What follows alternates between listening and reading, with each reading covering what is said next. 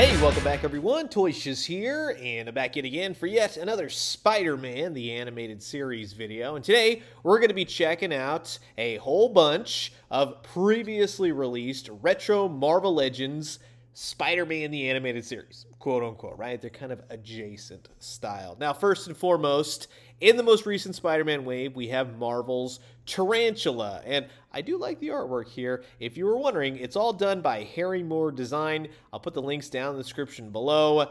He just does tremendous work. Really a blast from the past. And as you can see, Tarantula right there in the packaging. And on the back side, beautifully recreated. It's that Toy Biz goodness brought back to life. I love these IKEA drawings right here, right? A little bit of a write-up for the tarantula. Now, another character, Marvel's Rose, right? We'll talk more about Tarantula and Rose coming up. But uh, yeah, these are two characters that were not in the animated series, but Rose kind of, sort of, technically, right? Same sort of retro style packaging. Again, swap out the hands, you get a rose. I really like that. And you can read up on old Richard Fisk right here, the son of the Kingpin. The Walmart exclusive lizard. Man, oh man, what a pain, right? Glad I got him, though. We'll just say, again, really nice artwork. Very cool. Spider Man 60 amazing years. These are kind of spread over a nice long period of time, but like I said, we're bringing them all together for this video. Again, everything that you get, swapping out hands, and you get to learn about Dr. Curt Connors. Now, the Scorpion, which is one of my favorites, especially for having to do with Spider-Man the animated series, right? So gorgeous artwork there. Lovely green. This is what I think about when I think of the Scorpion. And you get the same backside, the purple card, the drawing. Love that right there. Mac Gargan doing his thing and kind of sort of talking about the battle suit, which he can and can take off, right? Animated series continuity, what it is. Kraven, right? We have Kraven the Hunter.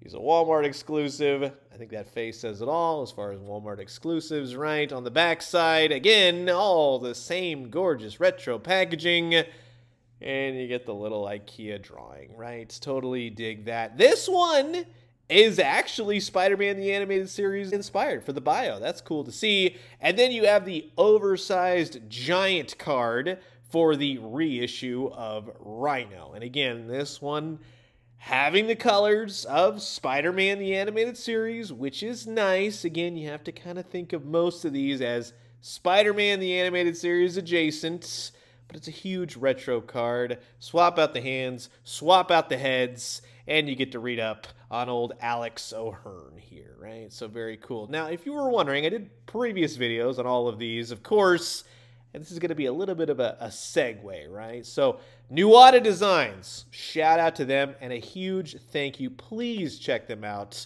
on Instagram. They are doing tremendous work for Spider-Man the Animated Series figures, and I just wanted to point out and show off a few of the offerings that they sent over. Now, for those of you interested in the cape and the head, go check out my video on the Hobgoblin, right? But for this, we're going to be looking at what Nuada Toys, Nuada Designs did. So, we have two new head portraits, we got a couple Hobgoblin extras, and we have his flying purple glider. And I like what they did here. They put magnets in there. So if you put magnets on the bottom of your Hobgoblin, he will magnetize to this board. Now, I will say this. It is 3D printed. I think it looks pretty great for a 3D printed third-party customizer, right? Very cool. I think a couple touches here and there, just a couple, yeah, we could fix this and this. I think you'd have an excellent product, my friend. Now, with the head portraits, and again, I very much appreciate this. I don't know where you begin creating these, painting these. It's amazing to see all the love and attention to detail that went into these head portraits. And I will tell you, they will fit on your hobgoblins, no problemo. But I want to point out that I think that this is an excellent start, and you should be absolutely stoked and happy to see all the amazing work that you have done. Again, both of the heads fit. But I will honestly tell you, they need a little bit of work. It's not exactly the Hobgoblin. It's a little bit off here and there, a little bit off model. but you're on the right track, my friend. I will say that. Now, those aside, I will tell you. Now, these these are the true standouts of New Nuada Toys, Nuada Designs. These are incredible. So first and foremost, from the Hobgoblin's first appearance in Spider-Man the Animated Series, you have his mask. Before he puts it on, before you know, it's Jason Philip Macendale. It was a bald guy with his back turned to us, and I absolutely love the way this looks. Well done. As is the time dilation accelerator. The one for the spots, or even better, the one for the hobgoblin. This is beautifully painted, beautifully designed. It looks like it walked right out of the animated series. It even has a little switch right there. You knocked it out of the park. This is amazing, and this is what I want to see. We've been so spoiled by NECA's cartoon TMNT. This is right on the money, as is the Hobgoblin Blaster. Hobgoblin is known for his pumpkin bombs. That's usually what he comes packaged with if he gets a figure. He's got razor sharp bats. He's got saw blades. He has his gun, the gun that was used to potentially take out the Kingpin, Wilson Fisk. They nailed it. New Nuada Designs, you should be very happy with everything you have done here. The Hobgoblin, even though he really doesn't have the hands, trigger fingers, and all that, you can definitely make this gun work for you, as will the time dilation accelerator. Now I just need a giant portal, right? So he doesn't take off an arm or take off a leg. You got to make sure it's properly power packed. But I got to tell you again, thank you to Nuada Toys, Nuada Designs. You knocked it out of the park. I'll put their links down in the description below if you'd like to go ahead and order any of these from them. Highly recommend the Time Dilation Accelerator. Highly recommend the Blaster. And definitely check out the Flying Wing as well. And just before we go, a little bit of a teaser. Coming up, once we have the Green Goblin Mary Jane sets, maybe we'll have a time dilation accelerator for another goblin, right? But in the meantime, we got some Spider-Man animated action to discuss. So sit back, relax, grab yourself a nice hot cup of coffee. This is a re-retro shiz look back at six new-ish Spider-Man, the animated series adjacent Marvel Legends by Hasbro. And while I got all you John Semper Jr. enthusiasts here, just want to say thanks so much for always checking out my YouTube vids. If you haven't already, please do consider subscribing. Old toys, new toys, daily news updates.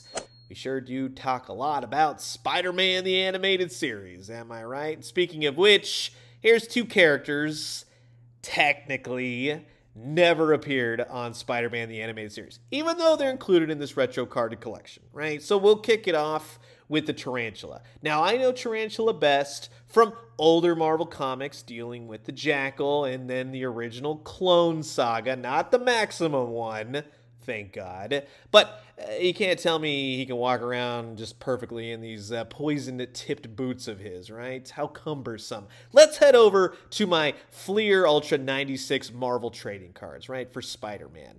And oh, uh, Tarantula is dead. Luis Alvarez. And oh, so is Kraven. Sergei Kravinoff. Spoilers ahead. And Jackal. So everyone in this era is dead. That didn't help at all. The articulation is the usual Marvel Legends articulation. There's nothing crazy here. And a big point of contention for this figure has been the blue head wrap.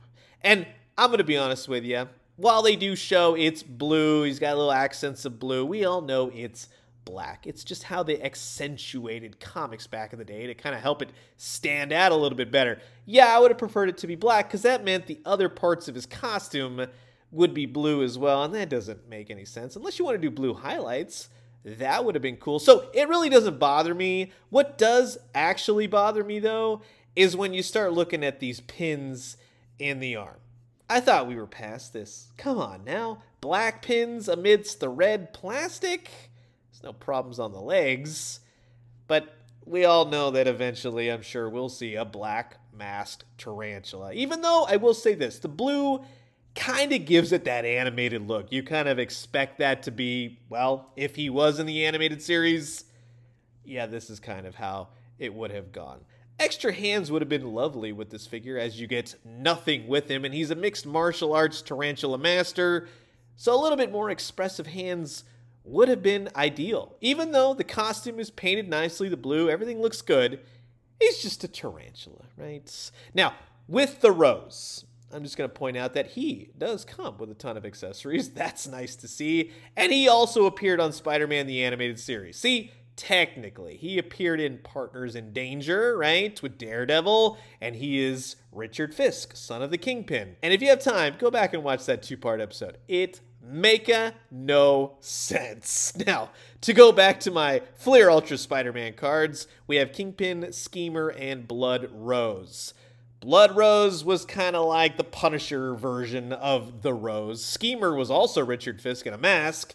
And like I said, he's the son of the Kingpin. Now, again, he comes with enough firepower that if you want to make him Blood Rose, I'm sure you can do that. These are actually cool. Yes, they could have used a lot more paint, but they're very much Spider Man the animated series, right? Remember their ridiculous blaster weapons?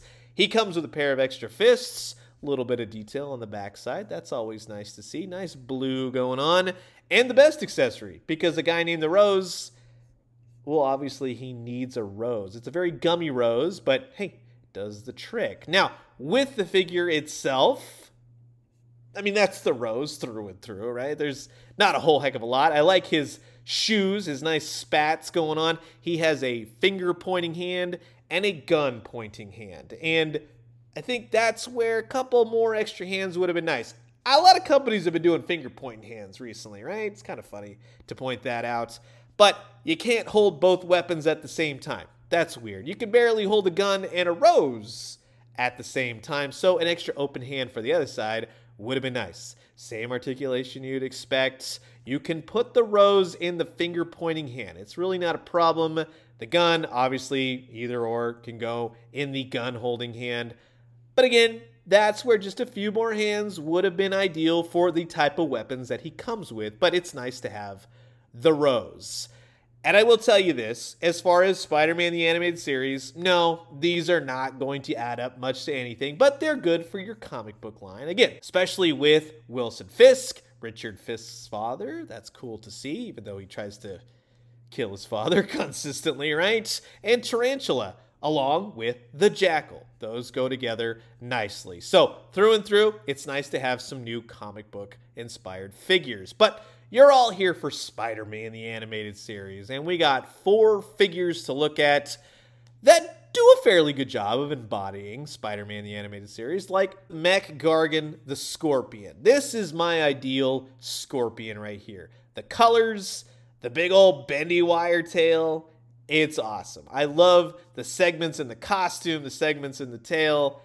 It just really has a lot of personality, and it's exactly what I think of if you say Scorpion. I go Spider Man the animated series because, yeah, through and through, they nailed it. Pretty good job, I have to say, even though it's just a repaint, let's be honest. But it definitely works as far as what he looks like on Spider Man animated, even down to them kind of painting these little boot hooks and glove hooks, right? I mean, at least they're there. It's it's not great, but I appreciate just a little bit of effort. That's not too shabby. The only main hiccup is that his tail in the animated series sprays acid, and this one is just a scorpion tail. So that's off in terms of relating it to Spider-Man animated. It's not a huge problem, but hey, you know, it's redoing the tail would have been nice, but I like that you get enough articulation out of him. He could do the whole jumping up and breaking the web lines sort of deal. An extra head portrait, maybe him turning a lot more feral, or even an intercom system to talk to the Kingpin. That would have made for some great extra accessories, Hasbro. That's what I would love to see. So, yeah, let's go a little bit more. Let's push the whole Spider Man the Animated Series aspect because people are clamoring for him. And let them know down in the comments below. I know they're reading them. There are fans out there, they want to see it. Let's do a lot more characters and let's get some more animation inspired accessories. Now, moving on, we have a repaint of the Rhino. And it's not just a repaint, mind you, it's a little bit of a redone Rhino. Now, he does have painted fingernails, which is nice to see. Not exactly animation accurate, but this is how this video is going to go. I'm going to point out stuff, but it's not going to really bug me. I do like the new head portraits, though. I think that those came out fantastic, along with the horns, the paint, a little bit of a wash to them. These are a lot better head portraits than the last Rhino release. And you get the more subtle head right here, which, yeah, does look like Rhino from Spider Man the Animated, just a lot more realistic, right? And again, that's where the whole Spider Man the Animated Series adjacent comes in. But they got the correct color of his suit this time around. That's nice to see. It's the exact same figure, minus the shoulder pads but you get the idea. There's nothing mind blowing here. The feet, now that could use a little bit of an update. He does have regular feet, he doesn't have rhino feet in Spider Man the Animated Series. So, again, that's where the reuse comes in, where I would say those are the necessary changes that people want to see to make these figures, these representations, that much more Spider Man the Animated Series. But it is a lot of fun to pose him out, swap the hands, swap the heads, right? That's pretty cool to see. Get him in those positions, and he is ready to do battle with Spider Man. Or go to work for the Kingpin, right? Get in a briefcase with a Promethium X inside. Now, with Kraven, he does come with the same spear that we have seen before, unfortunately, right? It's painted a little bit differently, but the one plus is that it's very reminiscent of the original Toy Biz Kraven with his little spear throwing ability, right? Now, with Kraven himself, that head portrait kind of says it all, right?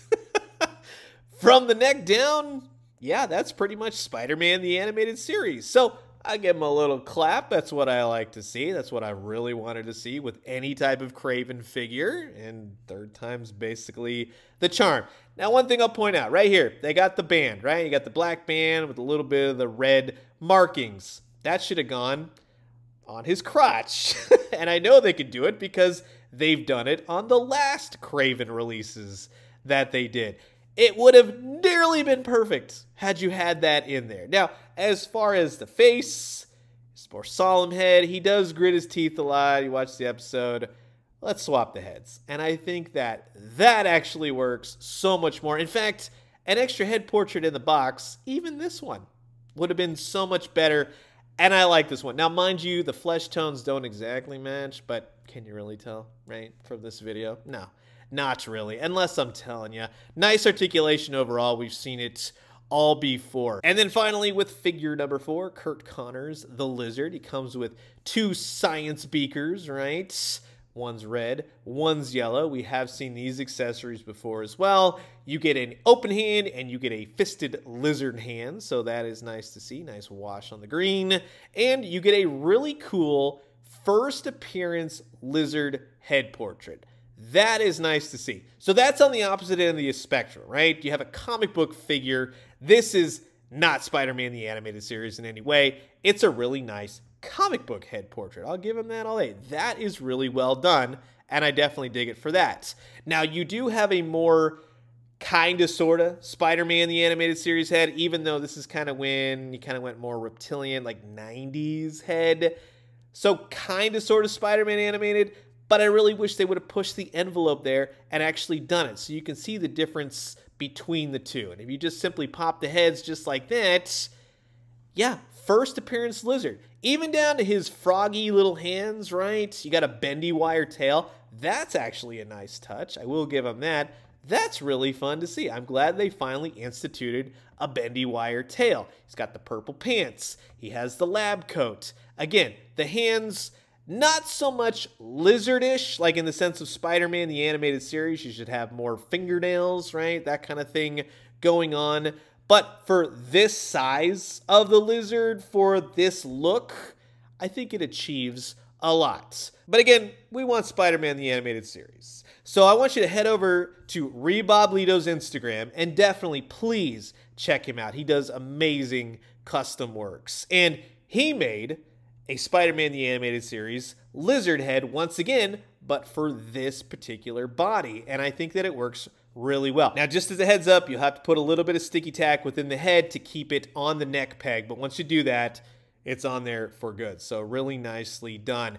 The only problem I would say, though, with this, minus head portrait, which really does make this figure now for me, is one, the hands are not exactly Spider Man the Animated Series. The feet are not exactly Spider Man the Animated Series. The lab coat doesn't have the Curt Connors name tag, which I need to get around to doing. I think that would be really easy. The lab coat isn't tattered or torn, but again, that's what makes it the first appearance lizard. That's what makes it cool. He is a little bit smaller than I think the lizard should be, but later seasons of Spider Man animated kind of brought him around this size. He fluctuates from episode one to then the end of the series. But that being said, the lizard with Riboblito's head portrait really does make it amazing. Kraven swapping out his head portrait really does make it amazing. Overall, I'm pretty happy. Pretty solid Rhino and a pretty solid Scorpion as well. So it's nice to see very little changes to either of these need to be made. But again, little bit more effort in bringing Spider-Man the animated series to life, please. Because once you have these figures, this is where your collection comes to life. Speaking of accessories for the Rhino, a headset, right? An extra head portrait with a headset. Or the Promethium X Rock, a briefcase. That would have been awesome. Because when you finally have him going up against the black costume Spider-Man, you can tell him you should have stayed in red because he's going to dirty you up bad. Now, in terms of his life partner, Shocker here, the original Shocker with the lines was pretty cool, even though it wasn't accurate to Spider-Man. And then we have the new Shocker as well. The lines really make the Shocker, and that's what this one is missing. This one also should have been red and black, which would have been really cool. But then again, it's supposed to be Spider Man adjacent, but it's not to say I'm not happy with it. But at least when Venom takes these two down, well, that achieves a little bit more of some happiness. Now, Wilson Fisk, the Kingpin, can present, well, at least four of the Insidious Six, even though I'm still unhappy with the Shocker, right? But Scorpion, pretty dang good. Doc Ock, that's pretty dang good. And now you have the Rhino. So we need a really cool animated series Mysterio and Chameleon. But in the meantime, because of Six Forgotten Warriors, we'll just put Electro in there, right? Everybody needs to go back and watch those five episodes as well. Making no sense, right? now, again, in terms of Mac Gargan, Scorpion, I really love the way that he looks with the animated series cell shaded Spider Man. I think that those work tremendously well together, especially when you have Aunt May and Peter Parker going to the bank to get a wedding ring and Scorpion crashes the scene. And on top of that, you can always crash a wedding, but at least the Black Cat will be there to assist Spider Man in taking him down. And what's really nice is that he scales well with both of them. So again, very happy overall with the Scorpion. In terms of Kraven, yeah, I would say that these two go together nicely, even though I had to swap the head portraits, right? you can even have a duel of the hunters, right? Have him team up with the Punisher and have him go up against Man Spider, right? Now, that being said, we definitely need a new Man Spider and a trench coated Punisher, right? In blue that would be incredible to see. Now, in terms of later episodes, like when they're having to deal with Calypso, which I wouldn't mind a figure of, these go together nicely. Spider Man and the Lizard. Like I said, this works, but his size fluctuates between episodes, of course, especially when you get to Secret Wars, which I do think and would call this the Secret Wars Lizard because of the size of this figure. Now, in looking at all of these, once we have Smythe, we will do a full Secret Wars video coming up, right? Now, to show you the differences, you have tattered pants, tattered lab coats, then you have basically I'm fine, right? Maybe like he hasn't gone through the sewers too much just yet. But that's where this lizard, again, with a Riboblito custom head portrait really works along with this lizard. So you can have either or, and I think you both achieve the lizard from Spider-Man Animated. And just to kind of show you what's come before, you have the original Spider-Man Classics Marvel Legends Tarantula. He's got a black mask. Check that out.